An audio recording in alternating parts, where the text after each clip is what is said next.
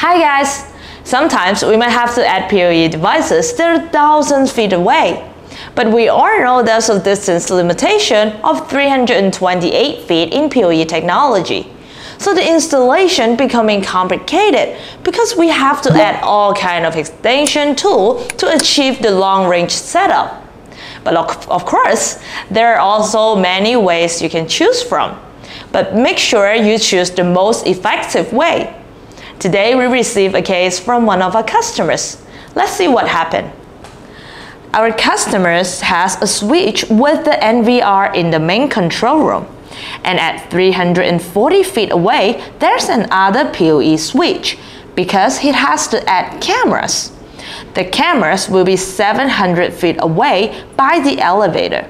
So he's thinking to add a PoE extender, but not sure if he can put one PoE extender at the second switch and then another PoE extender at the camera end. Now in this video, I'm going to sort it out for our customers and provide the most effective way. And if you have any trouble with your system design, please feel free to contact us through the link down in the description box below. Send us some simple drawing or diagram, and we'll be more than happy to solve your problem for you for completely free of charge. So PoE stands for Power over Ethernet. It can transmit both power and data through a single Ethernet cable. PoE has a limitation because the power that transmitted over the Ethernet cable decreases as the distance between the power source and the device increases. The decrease in power is due to the resistance of the cable and also the power loss that occurred during the transmission in electrical energy.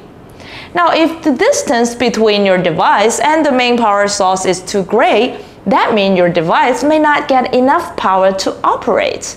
So in this case, we can use PoE extender, also known as the PoE repeater. The PoE extender can boost up the power and the data transmission. And this is what our customers thinking too. But in this way, we have to bury two PoE extender under the ground. And actually, we have a better method.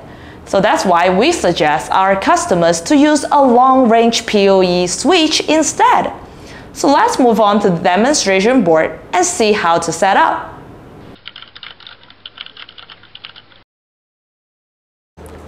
So here we are in front of the demonstration board. Behind me is the whole setup. Since we don't want to bury any PoE extender, that's why we choose to use the long-range PoE switch.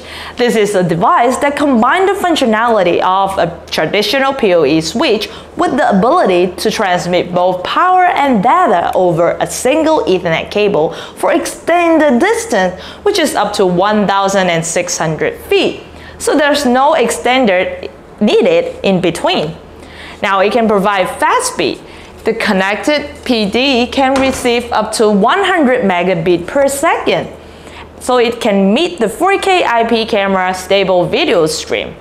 It is compatible with IEEE 802.3 AF, AT, and BT standard. And each of the port can supply up to 30 watts of power. So without saying, let's do the connection together. So let's do the connection from here. You can see the router is already connected to our NVR and monitor, and the image will show up later on after we connect it with the IP camera. Now I'm going to use a short patch cord here to connect our router with the long-range PoE switch. Those two are the data uplink port. Let's plug it here. We can see this long-range PoE switch has four ports, but only one and two ports are PoE long range port and three and four port are ordinary PoE port. So I'm going to use the Ethernet cable here to connect with port number one for long range distance. Now we have two row of Ethernet cable here. This is 300 meter and this is another 100 meter. So I'm going to use the coupler to join them together. This is just a simple coupler to extend the Ethernet cable. All right.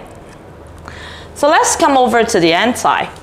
Now, for long-range PoE switch, they can send the signal and the power up to 1,600 feet. But then this camera is just an ordinary camera. That's why at this end we have to add a PoE extender in order to send back the data to the main router. So here we are going to use the Ethernet cable to connect in this port and then using another short patch cord here to connect with the extender. And you can put the extender as close as you can with your IP camera, so you don't have to bury this. Now I can hear the sound clicking, so it should have image come up shortly. And if you want to add another camera, you also have to add another extender with it at the end. Let's see here. I think the image is showing up. And let's give it a high. This is a live video. So the whole setup is done. Here are some more tips for you. Make sure you add PoE extender for each long-range link at the end. And then use a pure copper cable like the Cat5e or Cat6 and then avoid daisy chain PoE switch. That means don't chain up your PoE switch one by one because it might generate latency. Last but not least, if you want to work with a non-PoE device, you can use a PoE splitter to have power and data. And if you have a long-range setup, you can consider to use the fiber optic cable because fiber optic cable has high speed, low latency, and can provide the distance up to 80 kilometers. So here's a video on how to use the fiber optic cable to connect IP cameras. And thank you so much for watching us today, and I'll see you next time.